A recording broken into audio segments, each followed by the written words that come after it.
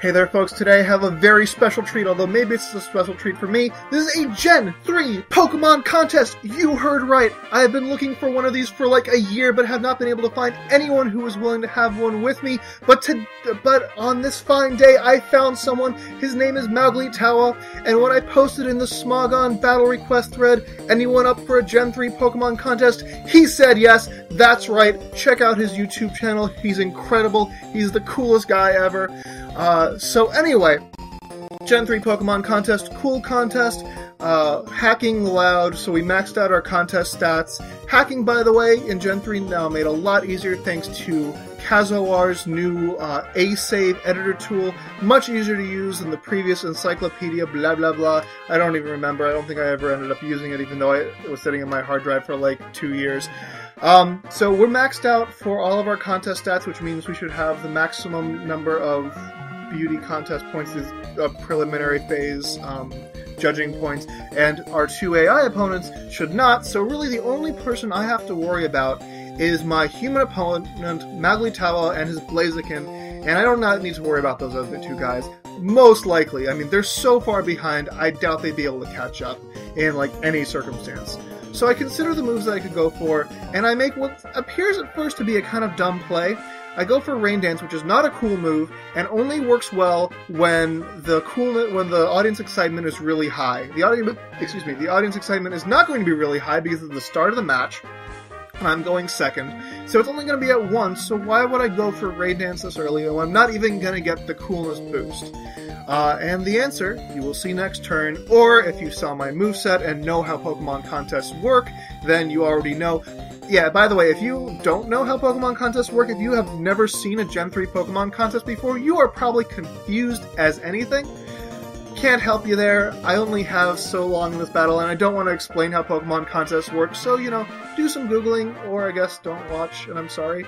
So, here's something really weird. So, Wobbuffet goes for Destiny Bond, which basically functions like Earthquake or Self Destruct, and it takes you out of the running for the entire rest of the match, and he used it on turn run turn one. Um, yeah, that actually happened when I was playtesting my set uh, when I was in the master rank competition. So that means there's only three of us really competing, and it's just kind of funny. But whatever. So now you see Thunder is in red, and I'm going to use it. And you notice I'm in the last slot. So see, it was all a plan. It was all a plan. And if you don't know what's coming, you know you'll you're about to see. There was so much strategy with the Gen 3 Pokemon contests as opposed to the Gen 4 ones, which I really felt they dumbed it down. I really hated the dance competition. Um, I basically hate anything that involves hand-eye coordination. That's why you don't really see me playing Mario Kart too much. Um, my hand-eye coordination sucks. So yeah, I'm hoping that. So yeah, so um, my opponent does a decently appealing move, but unfortunately it appeared to be mostly a jamming move. Uh, and since he went first, there's no jamming involved, so kind of sucks. But I imagine he didn't have much other choice. Uh, I go for the Thunder, and in combination with Rain Dance. So what it is is a jamming move. So anyone who goes before will have points taken away unless they're made oblivious by um, like Light Screen, which is what uh, that guy did. And so, th- and this was also an appeal combo with Rain Dance. So that means they get a plus two boost and get another boost for um, it being a cool move. So that's really awesome. And now I've pulled ahead, and I think I'm going to go first next turn. Now here's the thing. Um, I have a move that works really well if you perform it first, but the problem is it's a cool move. So this is the this is the turn where I do the most amount of strategy in the entire contest. And the idea is that I actually just go for Rain Dance instead of Shockwave, which would have given me a ton of points, but it would have boosted the coolness factor of the audience excitement up to plus four. And at plus four, that means that had Maogiitawa's Blaziken used a cool move, it would have maxed out coolness, the audience would have gone wild, and you would have gotten a ton of points. Um, and as you see, he did go for a cool move, and so basically I have robbed him of making the crowd go wild, and it's kind of a dick move, but, you know, it's the game, and it's a strategy. Uh, so instead, this Electrode is going to get the crowd going, but since its, uh, its contest stats aren't maxed out, I probably still don't have to worry about it because it's not going to be able to catch up with the two of us. So, assuming like it doesn't really, really, really do well. But so here, I could go for Thunder. I decide I'm going to go for Shockwave instead because it's going to give me more points, and the jamming is really going to work out. Uh, there's no one to jam uh, right now. Jamming, I think, is actually more of a No, I think jamming is what they call it. Anyway, so the standout angler hustled even more. I get a shit ton of points. My coolness goes over great, and yeah, I'm really getting a lot of points this turn. Uh, my uh, the AI is going to go for a light screen. Yeah, it's actually nice only having one AI to worry about doing weird and random things, but it would have been more interesting, I guess, if both AIs had been doing stuff. Here, my opponent does a great move for me, which is agility, and you're going to see why it's a great move. So the last turn, uh, the next turn is going to be the last turn. Um, so that's going to affect uh, my strategy kind of a lot, and I really didn't want to be in the lead slot going into that final round. So it's really nice for me that even though I have the most appeals points, I'm not going to be in the first slot going to the final round. I'm going to be in the second slot. So that means I can go, well, I could have gone for Hyper Beam anyway, but here the Hyper Beam is actually going to work out really well in my favor.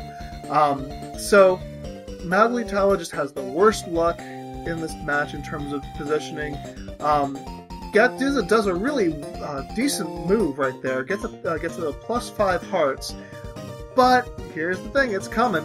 Um, so I'm gonna go ahead and go for Hyper Beam, which uh, Hyper Beam is like double Thunder in the sense that you get twice as many points, and you also jam twice as many points. That means take twice as many points away from anyone who went first. Uh, the downside is you can't go on the next turn, but since this is round five, I can't go on the next turn anyway. So Hyper Beam is a great move to use on the final turn. Although there are better moves, Destiny Bond is one of them, and another really great move is Explosion. Um, although Explosion is not a cool move, so that means that the audience is not going to go wild, which is nice because I think that Electrode really could have come ahead with those additional five hearts.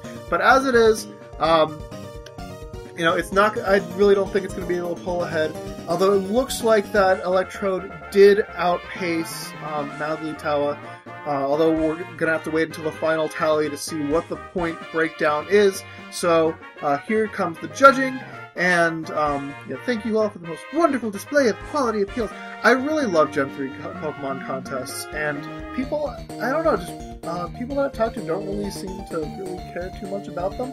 Um, but I thought it was one of the coolest things in Gen 3, and I really kind of wish they would somehow bring them back. So here it is, the post-pounding proclamation of the winner. Gotta love alliteration there. So will I be able to come out ahead? Um, well, you so what you see here is that I only had 9 stars versus his 10. I'm not exactly sure how that happened, uh, considering I'm pretty sure I maxed out all my contest stats, but whatever. As you see, he came really close, but did not outpace me. I do win the Pokemon contest. Woohoo! Go me! But really, really go Maogiitawa for being an amazing sport, for knowing how the Hamachi worked, for knowing how to use VBA link, which I really didn't. So comment, rate, subscribe, and challenge folks, and check out Maogiitawa's channel.